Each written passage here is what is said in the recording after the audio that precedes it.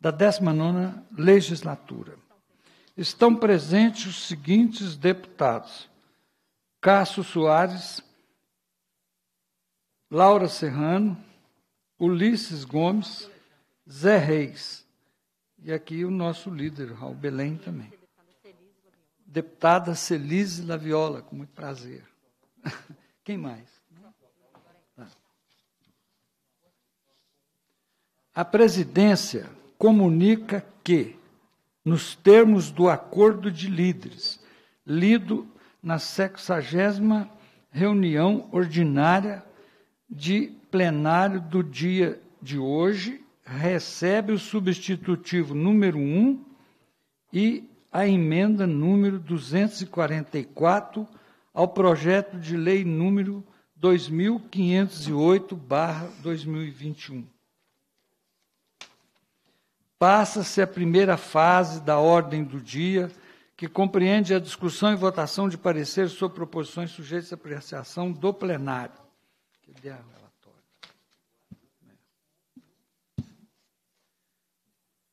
Parecer para turno único do projeto de lei número 1508, 2021, de autoria do governador do Estado e encaminhado a esta Casa por meio da mensagem 118-2021.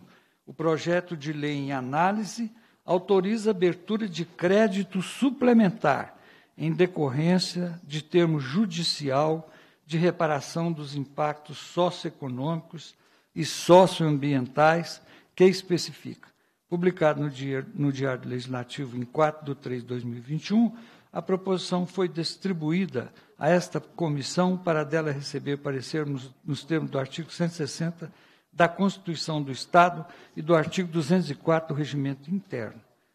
Em obediência ao rito regimental previsto no parágrafo 2 da mencionado artigo 204, foi concedido prazo de 20 dias para apresentação das emendas à proposição, o qual foi prorrogado por acordo de colégio de líderes. Foram recebidos neste período 244 emendas e um substitutivo, sendo que duas emendas foram retiradas pelos autores. Fundamentação: a proposição em análise tem por objetivo autorizar o Poder Executivo a abrir crédito suplementar ao orçamento fiscal do Estado em favor das unidades orçamentárias que especifica, em decorrência de termo judicial de reparação de impactos socioeconômicos e socioambientais, firmado nos autos do processo de mediação SEI número 01 22 201 dígito 59.000 2020.8.13.0000 perante o Centro Judiciário de Solução de Conflitos e Cidadania, SEJUSC, do Tribunal de Justiça de Minas Gerais.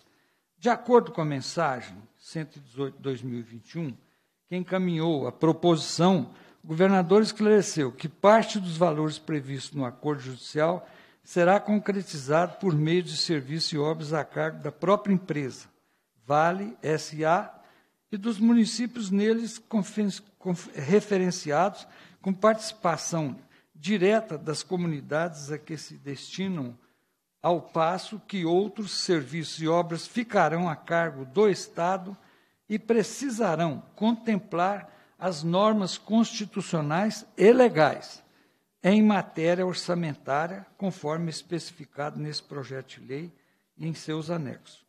Conforme mencionado anteriormente, em obediência ao rito regimental previsto no parágrafo 2 do artigo 204 do Regimento Interno, foi concedido prazo de 20 dias para a, das emendas, para apresentação das emendas à proposição, o qual foi prorrogado por acordo do Colégio de Direito por três dias.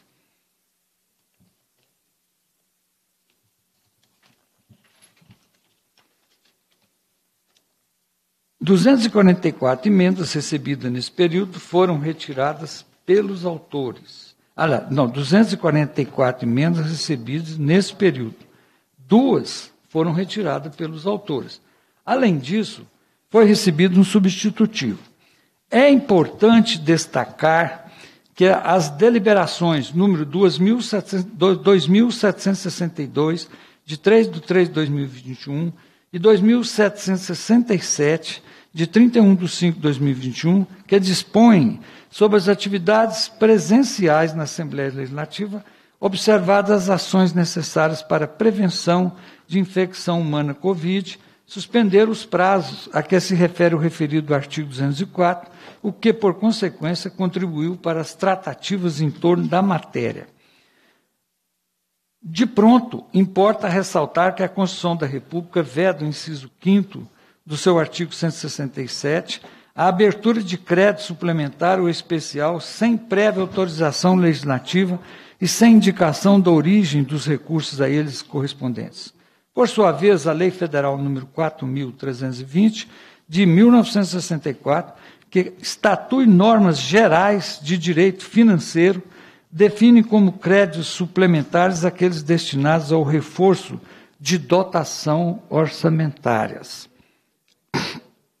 Além das normas federais que disciplinam a matéria, é necessário considerar que o arcabouço jurídico estadual também estabelece as regras a serem observadas ao processo de abertura de créditos suplementares.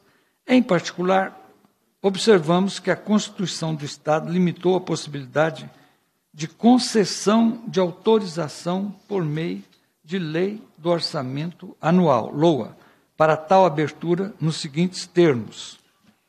Aqui tem vários termos descritos que dispensa já. Vamos continuar.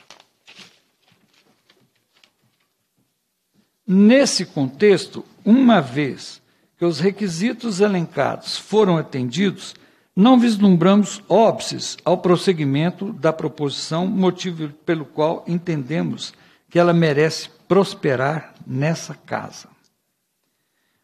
Durante a tramitação do projeto, o líder do governo, deputado Gustavo Valadares, e o líder de bloco.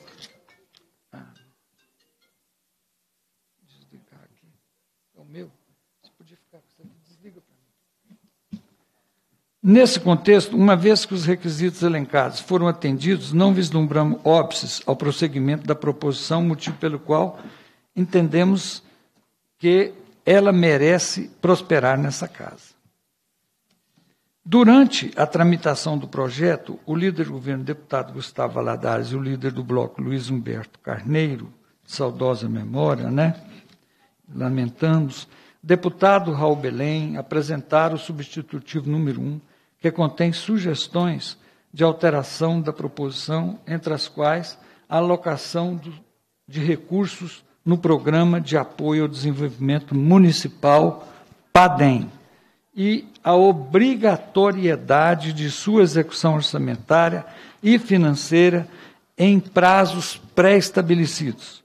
Tendo em vista a importância do tema e considerando que essa comissão está atenta à necessidade de consolidar as demandas apresentadas, as quais aperfeiçoam a proposição, apresentamos ao final desse parecer o substitutivo número 2, o referido substitutivo, em sua essência, promove correções de técnica legislativa e incorpora propostas apresentadas por meio do substitutivo número 1, um, subscrito pelo líder de governo e pelo líder de bloco, Luiz Humberto Carneiro. Substitutivo este que contém sugestões do Poder Executivo.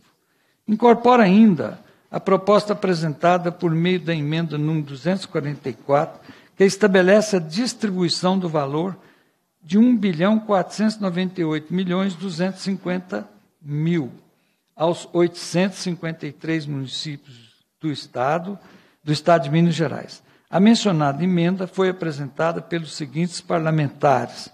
Aqui consta é, praticamente quase toda a Assembleia, não, peguei o número. Subscrito?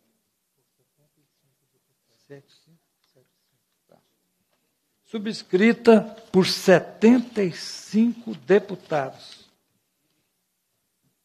O substitutivo número 1 um incorpora também sugestão apresentada pela deputada Beatriz Cerqueira, no que diz respeito à necessidade de se realizarem menções à memória das vítimas do desastre ambiental, conforme lei número 23.591, de 9 de 591, de 9 de março de 2020.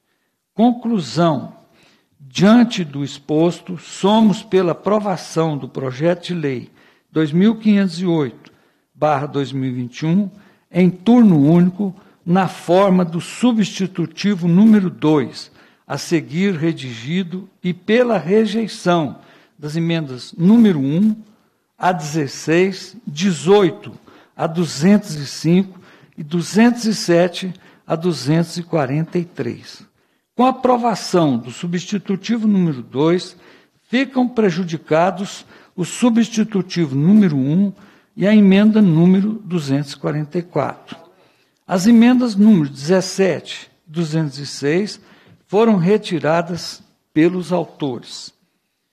Substitutivo número 2 autoriza abertura de crédito suplementar ao orçamento fiscal do Estado com recursos recebidos em decorrência do termo judicial de reparação de impactos socioeconômicos e socioambientais que especifica a Assembleia Legislativa do Estado de Minas Gerais decreta artigo 1 em conformidade com o artigo 17 da Lei 23.751, de 30 de dezembro de 2020, fica o Poder Executivo autorizado a abrir crédito suplementar ao orçamento fiscal do Estado de 2021 até o valor de 11 bilhões e 60 milhões é, de reais, para atender as despesas previstas nos anexos de 1 a 6 desta lei.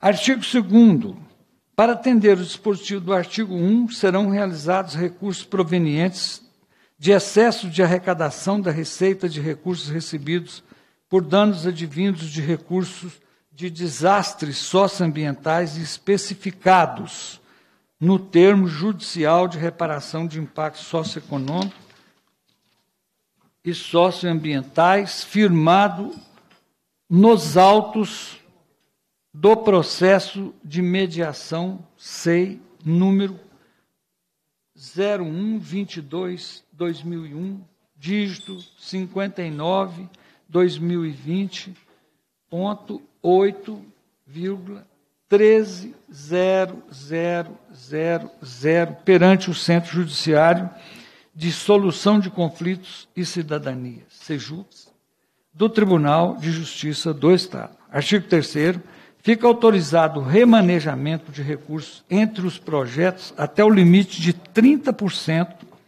do valor previsto no artigo 1 observadas as regras previstas no termo judicial de reparação a que se refere o artigo 2 Parágrafo 1 não oneram o limite estabelecido no caput as alterações na alocação prevista entre ações, grupos e unidades orçamentárias, desde que não alterem a destinação dos recursos atribuídos ao respectivo projeto previsto nos anexos desta lei.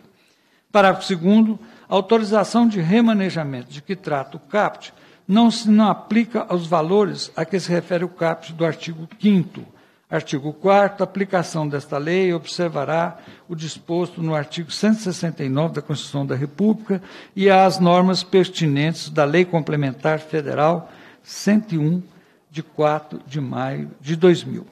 O artigo 5 dos valores previstos para a execução do Programa de Apoio ao Desenvolvimento Municipal, famoso PADEM, deverão ser aportados pelo governo do Estado de Minas Gerais a todos os municípios mineiros o valor de 1 bilhão 498 milhões 250 mil, conforme previsto no anexo 4 desta lei. Parágrafo 1. Os valores previstos no CAPT são de execução orçamentária e financeira obrigatória e deverão ser transferidos aos municípios independentemente de sua adimplência da prestação de contrapartida, da apresentação de quaisquer documentos ou da celebração de convênio, contrato, termo de parceria, acordo, ajuste ou instrumento congêneres entre o Estado e o município, observado o seguinte: inciso 1. Os recursos transferidos aos municípios serão depositados e, e geridos em conta bancária específica a ser aberta pelo Poder Executivo Estadual em nome do município em instituição financeira oficial e para cada município beneficiário a transferência será feita da seguinte forma: a 40% até 30 de agosto de 2021, 30% até 31 de janeiro de 2022. 30, C, 30% até 1 de julho de 2022. Inciso 2. As contas bancárias, os objetivos da aplicação dos recursos e os valores a serem alocados em cada objeto deverão ser informados pelo município beneficiário ao membro do Ministério Público de sua comarca e ao Tribunal de Contas do Estado. Terceiro, após, inciso terceiro, após a transferência, caberá ao gestor municipal assegurar a destinação dos recursos disponíveis na conta bancária específica de que trata o inciso 1, incluídos os rendimentos de aplicação financeiras aos objetos informados nos termos do inciso 2 e a, e a destinação para fins diversos ensejará a responsabilização do gestor, observado o disposto no inciso 4. Inciso 4. Os saldos em conta, eventualmente remanescentes após a realização dos objetos informados nos termos do inciso 2, incluídos o rendimento de aplicação financeira, poderão ser utilizados em objetos definidos nessa lei de abertura de crédito adicional. Parágrafo 2. Os recursos recebidos na forma do CAPT passarão a pertencer ao município beneficiário no ato da efetiva transferência financeira e deverão ser aplicados em despesas de capital, vedada em qualquer caso sua aplicação no pagamento de 1. Um, despesas com pessoal, inciso 1, um, despesa com pessoal e encargos sociais relativos a ativos e inativos e com pensionistas. Inciso 2, encargos referentes ao serviço da dívida. Inciso 3, veículos, le, veículos leves, ônibus, micro-ônibus e caminhões, exceto caminhão compactador de lixo e caminhão-pipa. Inciso 4, despesas correntes em geral. Parágrafo 3 aplicação dos recursos de que trata o CAPT pelos municípios observará os objetos passíveis de ser executados constantes no anexo 5 desta lei. Parágrafo 4 o município beneficiário da transferência que se refere o CAPT ficará responsável por eventuais multas e demais penalidades previstas na legislação processual ou no termo judicial de reparação a que se refere o artigo 2 em caso de irregularidade na aplicação dos recursos recebidos que prejudique, atrase ou inviabilize o efetivo cumprimento das obrigações ajustadas no referido termo judicial. O município beneficiário, inciso 5 inciso não, parágrafo 5 o município beneficiário poderá firmar contratos de cooperação técnica para subsidiar o acompanhamento da execução orçamentária e financeira na aplicação dos recursos. Parágrafo 6 nos termos previstos pela Constituição do Estado, a prestação de contas acerca da aplicação dos recursos transferidos será feita pelo município ao Tribunal de Contas do Estado, com observância da forma e da periodicidade definida em normas regulamentares expedidas pelo referido tribunal. Parágrafo 7 o comprometimento do termo judicial de reparação a que se refere o artigo 2 poderão os, os, é, os, comprom, os, compro, os comprometentes do termo judicial de reparação a que se refere o artigo 2 poderão solicitar ao Tribunal de Contas do Estado relatório, auditoria ou inspeção referente à aplicação dos recursos de que trata esse artigo.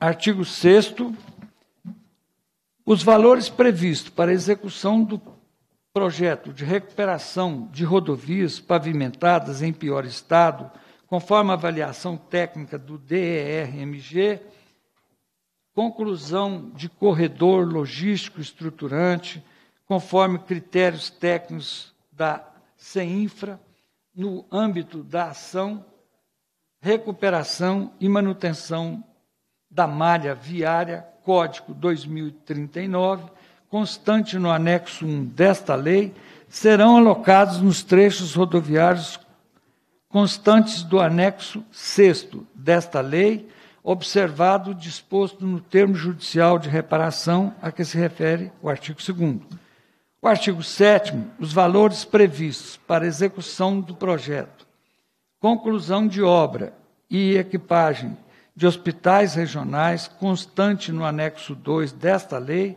serão alocados para os equipamentos hospitalares aos municípios de Teófilo Otoni, Divinópolis, Sete Lagoas, Conselheiro Lafayette, Juiz de Fora e Unaí, observado o disposto do termo judicial de reparação a que se refere o artigo 2 Artigo 8 a execução dos projetos previstos nesta lei se dará em etapa conforme resultados do processo de detalhamento e viabilidade técnica e financeira, exceto para os recursos a que se refere o caput do artigo 5 O artigo 9 o Poder Executivo deverá fazer menção direta e efetiva à memória das vítimas do desastre ambiental especificado no termo judicial de reparação a que se refere o artigo 2 em todas ações, programas e obras que venham a ser realizadas com aplicação dos recursos recebidos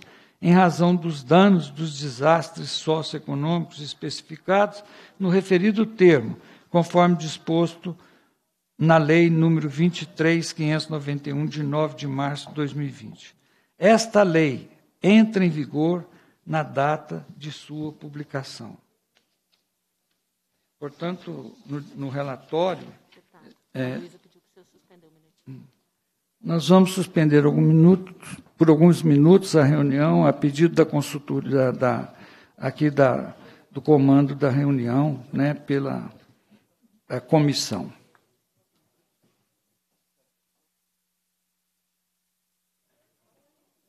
Estão suspensos por alguns minutos. Resultado de muito entendimento entre as partes, o governo, né, o executivo, o legislativo, e posteriormente também é, um acordo né, e, e uma orientação também do Ministério Público, do Tribunal de Justiça, né, do Tribunal do Ministério Público Federal, Defensoria, e vocês prestaram atenção pelo relatório, está tudo amarrado na prestação de contas, as preocupações que tinham devido às transferências especiais e específicas, está tudo detalhado aqui e há um acordo para votar. Então, nós vamos aqui prosseguir. Em discussão, o parecer. Para discutir, deputado ilustre, deputado Arlen Santiago. Arlen Santiago. Para discutir.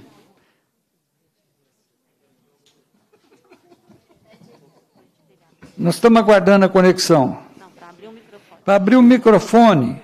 Nós queremos. Tá ouvindo agora? Agora sim, senhor. Agora sim, luz, ah, deputado. Perfeito.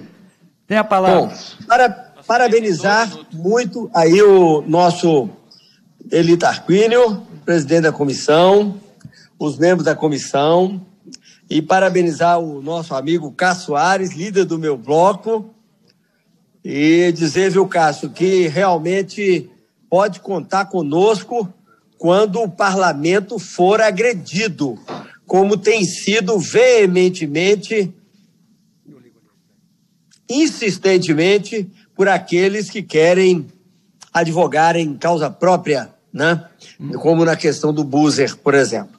Mas o que nós queríamos pedir é que o relatório, né, que ele, a gente possa né, ver essa questão do relatório, e eu quero destacar algumas emendas.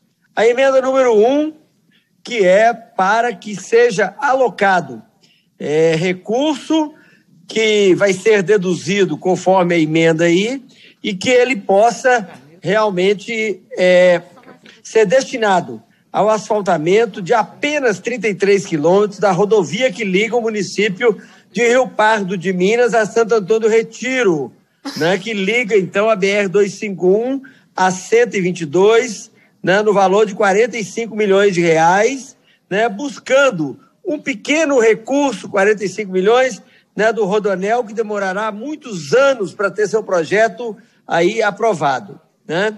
Também nós queremos destacar a emenda número 5, né, que é destinada ao asfaltamento da rodovia MG 626, que liga o município de Fruta de Leite até Taiobeiras, buscando também da mesma fase do Rodanel. A emenda número 6, que a gente vai botar para complementar né, uma rodovia que foi por nós federalizada e que o, o, o senador Rodrigo Pacheco está colocando, alocando a nosso pedido, e é do deputado Pierinho e do senador Carlos Viana, é, já 30 milhões de reais para começar essa estrada tão sofrida, que infelizmente tão prometida, e em 16 anos de governo lá do PT, nós não tivemos nem o projeto pronto. Também gostaria de destacar a, emenda número 10, que já consta aí que é a rodovia de Pintópolis a Urucuí, destinando 60 milhões de reais para ela. Né?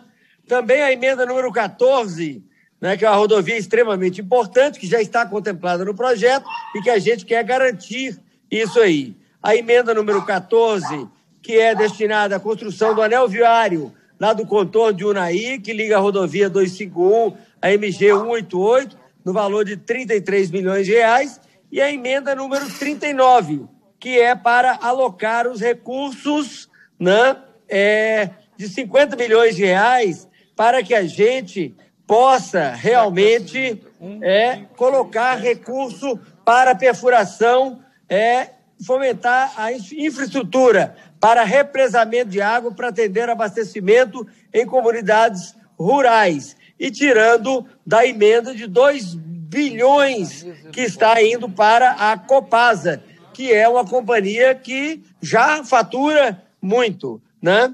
E também a emenda 61, que é uma emenda que é uma emenda é, dos 11 quilômetros restantes da LMG 603, que liga Cônego Marinho a Miravânia. Né? Também é, esse foi o máximo de destaques que a gente podia fazer. Né? Eu tenho certeza que os outros deputados vão fazer, por exemplo, o destaque da MG 479 no trecho que liga Januária a Chapada Gaúcha, no valor de 200 milhões de reais. Né? Também o, é, o asfaltamento de São João do Paraíso a Vargem Grande do Rio Pardo, que é uma estrada muito importante. Né? Também não consegui colocar aqui a emenda número 15, que é destinada à restauração do vapor Benjamin Guimarães, que foi colocado uma verba de 3 milhões e meio, depois que ele saiu da água, precisa de mais 3 milhões e meio, né? E temos também aqui, já está no projeto principal, por isso eu não destaquei, que é a ponte do Rio São Francisco, que vai interligar Manga a Matias Cardoso, uma ponte extremamente importante que foi prometida no governo passado e que não foi feita. E vamos estar aí apelando para a sensibilidade do governador Zema, do Fernando Marcato, para poder recapear a MG 122, que é uma estrada extremamente importante, está completamente desestruturada. Então, senhor presidente, eu quero é, parabenizar, né? E espero, como eu não pude, né, colocar também os 18 quilômetros da rodovia MG 626, nos trechos que ligam com o Hall de Dentro a Taiobeiras. É, seriam apenas 25 é, milhões aí de reais. Então, nós estamos vendo essas emendas, ou uma outra minha também, que é uma emenda de 30 milhões de reais para poder cuidar dos aterros sanitários em 56 municípios do norte de Minas e do e do e também é, do, do Jequitinhonha, né? Onde nós estamos buscando, né? A questão e é, tentando retirar os recursos para é, da, lá da FEAM. Então, senhor presidente, parabenizar pelo relatório, querer que o senhor acate essas emendas que a gente está podendo destacar e que elas realmente possam ser votadas em separado e falando também das outras que, infelizmente, pelo regimento, eu não pude destacar. E dizer, Cássio, que sempre conte comigo. O nosso bloco, ele está a favor dos mineiros. E, principalmente, esse projeto que está sendo feito pela quase totalidade dos deputados. Não sei se o deputado Guilherme da Cunha e a deputada Laura Serrano, que tanto agrediram os deputados que estavam atrasando o desenvolvimento de Minas Gerais, vendendo essa ideia errada para os outros, e hoje a gente já sabe realmente que o que eles estavam falando era alguma coisa completamente inverossímil, né? Porque os deputados estão querendo né, o desenvolvimento e é por isso que nós colocamos essa emenda, né, capitaneada pelo nosso excelentíssimo presidente Agostinho Patrus, pela mesa, pelos líderes, por, pelos, pela grande maioria dos deputados, que é fazer justiça aos mineiros por causa desse crime que foi acometido em Brumadinho e que, nesse momento, né, estão sendo reparadas as vítimas, a região de Brumadinho e também todos os mineiros através de uma verba é, que está sendo destinada por uma emenda da Assembleia Legislativa para atender todos os municípios. Era o que tinha que falar, senhor presidente. Parabéns pelo excelente trabalho da Comissão de Fiscalização Financeira, tão bem presidida por Vossa Excelência. Muito obrigado. Continua em discussão. Não havendo quem para, queira. Para discutir, senhor presidente. Pois não.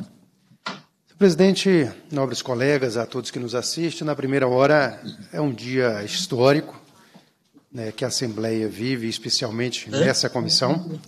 Uma comissão que avalia o acordo que muitos chamam de acordo da Vale, mas eu ia dizer que não necessariamente o acordo da Vale, mas sim o acordo do, do governo Zema. Porque já vimos e assistimos ao longo da história do Estado de Minas Gerais outras tragédias, tragédias essas que ultrapassam as barreiras, as fronteiras do Estado de Minas Gerais, e nem por isso, e nem por isso, lá naquela ocasião, tal acordo chegou a essa monta de valor e com tamanha repercussão. Então, quero aqui, nessa oportunidade, nesse dia histórico dessa compreensão do parlamento, que demonstra amadurecimento, essa votação desses 11 bilhões de um acordo que abarca 37 bilhões entre as execuções que passará pelo cofre do Estado e as execuções indiretas, que será executada pela infratora, é claro, é óbvio. E da mesma forma, a inovação, já que o Estado de Minas Gerais tem a subdivisão, e aí dentro dessa subdivisão constitucional, existe os municípios, uma inovação proposta por esse parlamento, e aí os meus parabéns, do repasse também chegar aos municípios para que o perímetro urbano não ficasse desassistido, uma vez que sabemos da independência dos poderes, da separação dos poderes, e o Estado não pode intervir na área urbana. Portanto, essa separação de um e meio bilhão de reais da qual, votado, debruçado ao longo desses meses, é de suma importância os meus parabéns. Quero aqui também falar dos meus sonhos, do meu sertão, das rodovias, das minhas estradas, das minhas pontes, que talvez, assim como outros deputados, se aqui fôssemos destacar todas as nossas emendas, certamente nós chegaríamos ao valor do acordo né, de, do 11, de 11 bilhão de reais. Tem nossas emendas, como já vi pelo relatório, né, que elas não foram acatadas, compreendo, aceito e admito. O fato é que o Estado está andando, as coisas estão acontecendo, e isso é o que importa, afinal de contas, os efeitos do acordo chegarão nos, nos 853 municípios do Estado. E não obstante, como aqui ouvi a MGC 479, estrada criada por Juscelino Kubitschek, estrada de 70 anos, diga-se de passagem, que interliga o extremo norte de Minas, que interliga a margem esquerda do Rio São Francisco ao Brasil Central. Uma rodovia criada exclusivamente para interligar a capital federal à cidade de Januária, criada pelo nosso ex-presidente Juscelino Kubitschek. E não obstante, não ficando esperando né, dinheiro de tragédia ou dinheiro alheio, aportei, juntamente com o deputado federal Marcelo Aro, emenda da minha autoria, da qual tive a honra de receber o governador Romeu Zema. Embora criticado, embora sendo chamado de mentiroso por muitos, muitos inclusive que conhecem muito bem a realidade, mas não colocou, não teve a ousadia ou a disponibilidade de colocar um centavo sequer, presidente. Portanto, tirei do meu bolso, como votado que sou, das minhas emendas e lá aloquei, e graças a Deus as coisas estão acontecendo. Parabéns, presidente, pela condução serena, mansa, pacífica, que as coisas estão acontecendo e veremos logo em breve né, um acordo que receberá em três parcelas os nossos munícipes, né, de, dos 853 municípios e diversas obras. Né, é claro que sempre ficamos naquele gostinho de querer mais, querer mais hospitais, de querer mais rodovias, de querer mais vias, de querer ver mais as coisas acontecerem né, no tempo recorde. Mas trago aqui apenas para registrar o desejo, as minhas emendas colocadas nas minhas rodovias em todo o norte de Minas, mas também deixo o destaque de um trabalho de indicação pessoal das minhas emendas, já que se fôssemos falar de acordo da Vale, de tanto que se venderam por aí, certamente dá mais de 100 bilhões do que anunciaram, de tanto dinheiro que anunciaram, né, que, que, que, ia acontecer quando o valor é limitado a uma sentença transitado e julgado de uma ação ajuizada com outros proponentes. Então, quero aqui destacar meus parabéns, meu muito obrigado, e a todos dessa comissão que, sábado domingo, dedicaram a estudos, a buscas do conhecimento, ao nivelamento e o aprimoramento da proposta de suplementação do Poder Executivo. Parabéns a cada um desses integrantes dessa comissão. Muito obrigado, deputado Zé Reis. Continue em discussão. Encerra-se a discussão. Sobre a mesa, pedido de destaque do deputado Cássio Soares, das emendas 1, 5, 6, 10, 14, 39 e 61, que são as emendas do deputado Arlen Santiago, porque eh, o Cássio é componente da nossa Comissão de Fiscalização e Orçamento. É só os componentes, né, os membros é que pode fazer o destaque, e o destaque foi muito bem pensado pelo nosso Arlen Santiago. E, do ponto de vista é regimental, defiro o destaque e vamos colocar em votação o parecer salvo destaques. Salvo destaques. Como vota o deputado Cássio Soares? O parecer. Salve, salve destaques. Voto convicto, sim, com o relator, senhor presidente. Pois não. Muito obrigado. Deputado Dorgal Andrada, como vota Vossa Excelência? Senhor presidente, meu voto é sim. Pois não. Muito obrigado. Com o relator. Deputada Laura Serrano, como vota Vossa Excelência? Presidente, voto sim. Muito obrigado. Deputado Ulisses Gomes, como vota? Voto sim, seguindo Vossa Excelência, o relator. É. Sim, presidente. Deputado Zé Reis, como vota Vossa Excelência? Voto sim, presidente, acompanhando o vosso relatório. E o presidente Elitarquino também vota sim ao, ao relatório, ao parecer, não é isso? Então está aprovado por unanimidade o parecer. Agora nós vamos é, Aprovado o parecer, em votação, a emenda número 1. É uma por uma. Né? Então, a emenda número 1. Como vota o deputado Cássio Soares? É. As emendas. Voto não, senhor presidente. Pois não. É, eu gostaria apenas. Vamos registrar os votos, depois nós explicamos. Então, como vota o deputado Dorgal Andrada? Como vota o deputado Dorgal Andrada? Vou passar à frente. Como vota a deputada Laura Serrano? Senhor presidente. Pois não, desculpa, deputado Dorgal. Dorgal Andrada, como vota? Conexão. Senhor presidente, eu voto não. Vota não. Muito obrigado. Como vota a deputada Laura Serrano? Voto não. Pois não, muito obrigado. Deputado Ulisses Gomes, como vota? Não, presidente. Deputado Zé Reis, como vota? Sabendo da, da importância da emenda, senhor presidente, votarei sim, mesmo sabendo da, da derrota. Da derrota. Pois não. Então, vota, não, vota sim, deputado Zé Reis. E o deputado Eli Tarquini vota não ao, ao destaque. Né? Rejeitada. Rejeitada com voto contrário do deputado Zé Reis. É, de, uh, agora, a emenda número 5. Em, é, em votação, o destaque número 5. A emenda destacada. Como vota o deputado Cássio Soares? Voto pela rejeição, senhor presidente. Como vota o deputado Dorgal Andrada? Deputado rejeição, Dorgal Andrada. Presidente. Pela rejeição, senhor presidente. Pela rejeição. Deputado Ulisses Gomes, como vota? Não. Deputada Laura Serrano? Voto não. Deputado Zé Reis? Sim, presidente. Como vota? Sim. Sim. Então, o deputado Elitarquino vota não.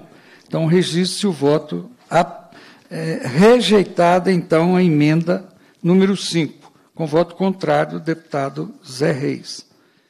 Agora, a emenda número 6, destacada, como vota o deputado Cássio Soares. Voto pela rejeição, senhor presidente. Como vota o deputado Dorgal Andrada. Voto pela rejeição, senhor presidente. Como vota a deputada Laura Serrano? Voto não. Deputado Ulisses Gomes, como vota? Não. Deputado Zé Reis, como vota? Embora sabendo do resultado, presidente, voto sim. Vota sim. Deputado Elitarquino vota não. Então, é, está rejeitada a emenda número 6, com voto contrário do deputado Zé Reis. A emenda número 10. Como vota Vossa Excelência, Cássio Soares, deputado Cássio Soares. Senhor presidente, voto pela rejeição. Obrigado. Deputado Dorgal Andrada, como vota? Senhor presidente, voto não. Deputada Laura Serrano, como vota? Voto não, presidente. Deputado Ulisses Gomes, como vota Vossa Excelência? Não.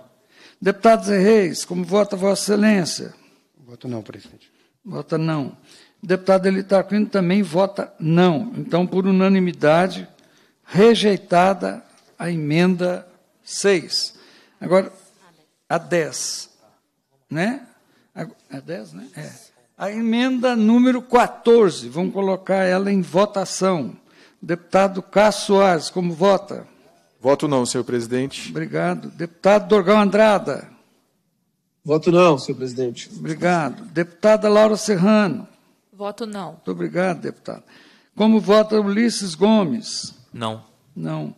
Deputado Zé Reis, como voto, vota? Voto não, presidente. Vota não. Deputado Elitarquino também vota não e está rejeitada a emenda número 14. Agora nós vamos colocar em votação a emenda 39. Como vota o deputado Cássio Soares? Voto não, senhor presidente. Deputado Dorgal Andrada, como vota Vossa Excelência? Voto não, senhor presidente. Muito obrigado. Deputada Laura Serrano, como vota? Voto não. Muito obrigado. Deputado Ulisses Gomes? Não. Obrigado. Deputado Zé Reis? Também não, presidente. Vota não. Deputado Elitar Cunha também vota não à emenda 39. Né? Agora nós vamos é, apreciar a emenda 61. Como vota o deputado Cássio Soares? Voto não, senhor presidente. Como vota o deputado Dorgal Andrada? Voto não, senhor presidente. Como vota a deputada Laura Serrano? Voto não. Como vota o deputado Ulisses Gomes? Voto não, presidente. Como vota o deputado Zé Reis? Acompanho o relatório, presidente, não. Eu também voto, o deputado Elitar Cunha vota não. Então está rejeitada pelo, eh, por unanimidade. Declaração de voto, senhor presidente. Pois não. Ah, pois não. Deputado Cássio Soares, para declaração de voto. Senhor presidente, de forma bastante breve, eu quero justificar o meu voto contrário às emendas, em que pese a intenção é, sempre muito sensível do deputado Arlen Santiago em defender a população da região norte do nosso estado de Minas Gerais, assim como grandes colegas é, que também se importam muito com aquela região importante do nosso estado, mas como foi feito um acordo de que as emendas não comportariam para que não desfigurássemos o projeto da maneira com que aportou aqui, a não ser dentre as emendas democráticas de atendimento dos 853 municípios, que foi uma iniciativa talvez inédita nesta casa legislativa, o meu voto foi contrário simplesmente por este motivo, reconhecendo a legitimidade, reconhecendo a necessidade, a carência de que tais obras apresentadas e defendidas pelo deputado Arlen Santiago são justas e necessárias. Porém, vamos encontrar mecanismos adequados ao longo do mandato, ao longo do tempo, para que essas obras possam atender bem toda a população do norte de Minas. Muito obrigado, senhor presidente. Tem algum deputado que quer fazer declaração de voto? Para a declaração de voto, presidente. Pois não. Com a palavra, a deputada Laura Serrano. Presidente, é, quero dizer que hoje é uma, de fato, um momento histórico, é, é uma grande realização da Assembleia de Minas, a votação e a aprovação do projeto do Acordo da Vale. Aqui a gente está falando de obras estruturais extremamente importantes que vão gerar resultado direto na vida das pessoas e é, que contou com essa, essa parcela de 1,5 bilhão de reais que vai ser destinado para os municípios, com finalidade específica, o que é importante para garantir, mais uma vez, é, que seja aplicado da forma correta nas destinações que vão gerar resultados e benefícios diretos na vida dos cidadãos mineiros em todos os municípios do nosso Estado. Então, é, quero aqui registrar é, a satisfação e agradecer a sensibilidade dos colegas deputados da Assembleia de Minas. É, aqui a gente está falando da grande comissão, onde votamos os membros da Comissão de Fiscalização Financeira e Orçamentária, mas participam é, as várias comissões permanentes dessa casa. E fico muito satisfeita de chegarmos nesse resultado, nesse desfecho tão importante para Minas Gerais que vai garantir, mais uma vez, obras estruturais importantes, obras estruturais importantes para o nosso Estado. A gente está falando de cinco hospitais regionais, é, melhoria e maior eficiência de mobilidade, geração de emprego, o novo rodoanel e, inclusive, melhoria e fortalecimento dos serviços essenciais para a população em saúde, em educação, é, tudo isso é muito importante. Então, queria registrar aqui é, e agradecer mais uma vez por esse momento histórico. A gente, claro, é, precisa sempre lembrar que essa indenização ela é decorrente é, da tragédia de Brumadinho, que foi um evento é, muito triste da nossa história em Minas Gerais, mas que precisou é, ser tratado com o cuidado e o respeito necessário, inclusive é, no que tange às comunidades de Brumadinho e dos municípios no entorno, para que fosse feita uma negociação justa e que esse resultado dessa indenização pelos danos socioambientais e danos coletivos chegasse de forma mais célere possível na ponta para poder melhorar a vida das pessoas. Mais uma vez, a gente está falando dos danos coletivos causados a Minas Gerais por essa tragédia que mancha de forma muito triste o nosso, a história do nosso Estado, mas que eu acredito é, que tenha sido conduzida em termos de negociação para essa indenização da forma bastante responsável, cautelosa e respeitosa para que Minas pudesse ter a justa e a devida indenização. E hoje é, mais uma vez, com muita satisfação que eu vejo o resultado e o desfecho disso aqui na Comissão de Fiscalização Financeira Orçamentária, na grande comissão, e agora caminhando é, para plenário. E por se tratar de natureza orçamentária, é, turno único, espero que essa matéria possa ser aprovada amanhã em plenário e que assim a gente possa ter esses 11 bilhões de reais que sejam destinados diretamente, mais uma vez, com finalidades específicas voltadas para melhorar a vida do cidadão mineiro. Obrigada, presidente. Com a palavra o deputado Ulisses Gomes para a declaração de voto. Presidente, muito rapidamente, algumas palavras. Eu queria primeiro dizer que, ao final, a verdade prevalece. É, ao longo desse processo, a gente não pode, sem nenhuma crítica, mas constatação, muita disputa de versão de quem estava certo, quem estava errado e talvez um colocando dúvidas sobre a ação do outro, mas a verdade é que o Poder Legislativo cumpriu seu papel. E eu quero registrar aqui primeiro o papel fundamental e a liderança do presidente Agostinho Patrus.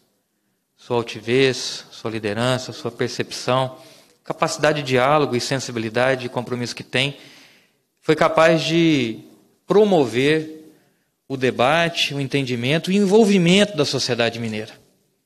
Olha que conquista tivemos no dia de hoje.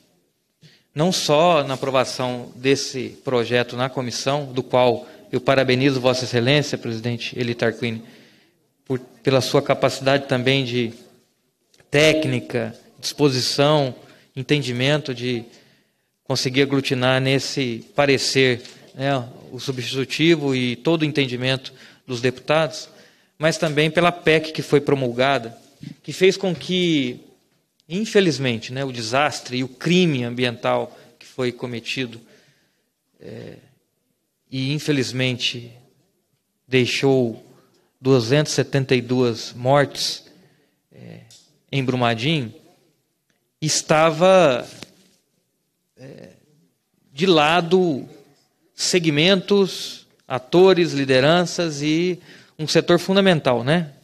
que era obviamente não setor, mas a, a Assembleia que não participou desde o início desse acordo, muitas famílias atingidos. E, obviamente, a gente tem discordâncias dentro desse projeto. Hoje teve uma manifestação fortíssima, audiência pública na Assembleia, com relação ao Rodanel, que com certeza amanhã será fruto de um debate também no processo de votação, que é justo ouvir as famílias, ouvir as pessoas que compreendem, assim como a gente compreende, a grande preocupação desse item do acordo, mas é importante ressaltar aqui o todo, antes de mais nada. E no todo, é, o papel do Ministério Público, tanto estadual quanto federal, o papel da Defensoria Pública, o papel do Tribunal de Justiça, do Governo do Estado, todos foram ao longo do tempo ressaltados. Mas cabe aqui um destaque fundamental: a Assembleia Legislativa e os municípios não tinham se envolvido, não haviam sido ouvidos. E o presidente Agostinho Patrus, com os líderes, com os deputados, é, propôs alterações capazes não só de promover justiça em parte desse dinheiro, que infelizmente, em detrimento das vidas que foram ceifadas pelo crime da Vale, é, tem um entendimento do ressarcimento das perdas que esse que esse desastre, esse crime promoveram no Estado. E essas perdas não foram é, só, né, e, e, obviamente com toda a dimensão nas cidades atingidas, e não só para o Estado enquanto governo, mas para todos os municípios. E nada mais justo que, esse, que parte desse dinheiro fosse então distribuído para todos. E aí não é só o dinheiro. Né? A ex-deputada Marília Campos e prefeita de Contagem esteve hoje na promulgação da PEC. Foi muito feliz quando é, disse da alegria dela e da sensibilidade por ver o Poder Legislativo com essa sensibilidade e compromisso de entregar né, e ter essa visão e sensibilidade de atender todos os municípios que perderam, e mais do que perderam também, passam por enorme dificuldade. Então a Assembleia conseguiu, com esse gesto do presidente Agostinho, e a unidade da quase absoluta maioria, dos, quase a totalidade dos deputados, né, 90% dos deputados aprovando, assinando uma PEC que proporciona de forma igualitária, né, de forma equânime, a distribuição desses recursos. Então, é, é realmente, apesar da tristeza do que motivou tudo isso, a certeza que o caminho que a Assembleia optou contribuiu pelo processo. Então, vale ressaltar todos os atores que, ao longo do tempo, participaram desse processo. E, ao final, com certeza amanhã a gente votando na Assembleia, na, no plenário, não deixar de registrar esse papel importante da Assembleia Legislativa, de todos que acreditaram na importância desse diálogo, que desta forma envolveu todo o Estado. O mesmo Estado que, no momento da tragédia, daquele crime, chorou, se mobilizou, ajudando as famílias. Quanta mobilização a gente viu no Estado inteiro, a solidariedade do povo mineiro naquele momento, talvez ao longo do tempo foi sendo esquecida. E com essa emenda, a gente foi capaz de envolver o Estado inteiro de novo nisso. Talvez por talvez os prefeitos vão, vão, vão saber, e a expectativa nossa é saber usar da melhor maneira, sabendo que esse dinheiro ele foi é, suado, com sangue, com vida, e merece ser bem cuidado, e eu tenho certeza que a gente fez boa escolha. E por fim, presidente, agradecendo e parabenizando, agradecendo a todos os deputados, eu, se o senhor assim me permitir, eu queria encerrar então, nesse sentido, fazendo uma singela homenagem e lembrança a essas 271 vidas, pedindo um minuto de silêncio para a gente encerrar. Não sei, não só, mas a minha fala, um minuto de silêncio em homenagem a essa votação, a essas vítimas. Que tudo aquilo que a gente fizer ao votar e for encaminhado, as obras que o governo decidir, os recursos, os, o restante dos recursos, né, porque aqui nós estamos votando apenas 11 milhões, milhões dos 37, que a Vale, a sociedade, a Vale é, não, não ofereça barreiras para que esse recurso chegue e a sociedade possa ser beneficiada o quanto antes, para que minimamente seja é, melhoradas as condições de vida daqueles que foram atingidos e que os prefeitos, assim que receber esse recurso, tenham essa sensibilidade também de oferecer essas obras em benfeitoria para o nosso povo. Então eu só encerro então pedindo é, esse minuto de silêncio às 271 vidas, pessoas e famílias que se envolveram nisso, que infelizmente perderam seus entes queridos. É, eu gostaria apenas, antes de pedir um minuto de silêncio para terminar, tem mais alguém que quer fazer alguma. Falar? Eu acho que todos já falaram. Você quer... Eu vou só também aqui justificar, como o Cássio, o deputado Cássio, né, que é, solicitou as emendas em nome do deputado Arlen Santiago, dizer ao deputado Arne Santiago que é meritória as suas, as suas, os seus destaques, né? mas não foi possível, foi rejeitado exatamente devido é, que poderia alterar o acordo da Vale né, com o governo e com os outros poderes, que foi celebrado é, também esse acordo com a quiescência, é, ultimamente, de um, a, do encontro para entendimento do nosso grande timoneiro, Agostinho Patrus, que liderou todo esse processo e tem liderado os outros, né, os outros projetos para valorização e da nossa representação como deputado de fiscalizar, de legislar, ele interviu, é, vamos dizer assim, brilhantemente no sentido de é, fazer uma reunião final com os poderes, né, com o Tribunal de Justiça, o, o Ministério Público Federal, Ministério Público Estadual, Defensoria Pública, e aí sim é, ficou estabelecido um acordo, e esses destaques estão fora do acordo do ponto de vista técnico, do ponto de vista de legislação, por isso que foram registrados os destaques. E queria aqui também é, dizer que houveram duas tragédias. A primeira tragédia foi do socioambiental, né?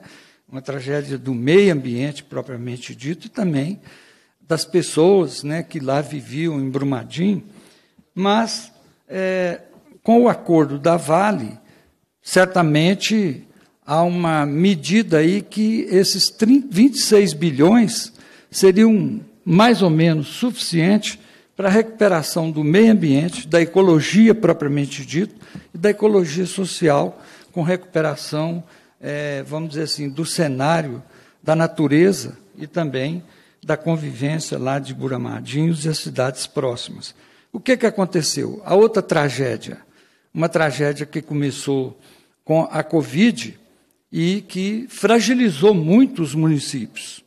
Então, sobre essa, essa atmosfera né, de tragédia, o que, que vislumbrou a Assembleia Legislativa através de seus 77 deputados sob a liderança do nosso Agostinho Patrus?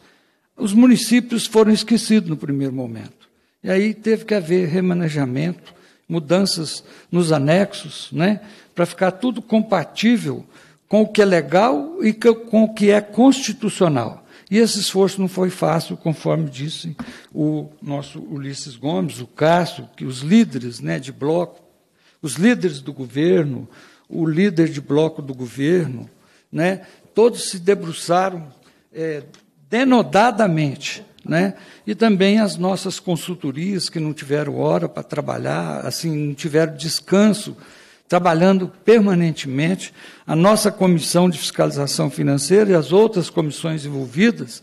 Então, nós queremos prestar homenagem a esse povo todo que destinou, né, que procurou trabalhar para sintetizar, no fundo, o direito dos outros municípios também, que estavam fragilizados, com espírito de solidariedade, de isonomia quanto aos valores, todo cidadão e cidadã, e cada, cada pessoa que vive no município tem lá um valor per capita, né, com um mínimo de 750 mil até 50 mil, alcançando Belo Horizonte numa escala crescente. Então, prevaleceu o sentimento também é, vamos dizer assim, de sofrimento que todos nós, às vezes, temos do outro. E isso é muito bonito, isso é compreensão, né? isso é compaixão, e acredito que a Assembleia saiu é, muito bem nesse, nessa atividade, nessa proposta de participar, de tal forma que ela caracterizou, dentro dos, dos 11 bilhões, um bilhão e meio para os municípios isso vai fazer um pouco de diferença. Lógico que nós temos que trabalhar permanentemente com esse espírito de solidariedade, solidariedade e de compaixão, porque a vida, na verdade, ela tem altos e baixos e nós estávamos sob, é, vamos dizer assim, o sofrimento de duas tragédias. Né? Então, agradeço a todos pela presença e Cumprida a finalidade da reunião, a presidência agradece a presença. Ah, senhor, desculpa, nossa, é, eu cometi um, um lapso é, triste aqui, né? Eu esqueci da, de, de, dedicar um minuto de silêncio solicitado pelo deputado Ulisses Gomes, e é muito justo que nessa hora nós possamos pensar, sim, é, quando a morte chega, a gente reflete muito sobre a vida, né? E na verdade, viver é, na verdade, é arte e ciência, mas quando a vida chega ao fim, nós entregamos a nossa, vamos dizer assim, o nosso corpo à terra, mas o espírito, tenho certeza que sobrevive conforme Deus, né, que vai nos acolher, se Deus quiser. Então, com muita justiça, no oportuno e com sentimento de solidariedade e de perda, nós vamos conceder um minuto de silêncio, né, em homenagem àqueles que perderam a vida e o sofrimento de suas famílias.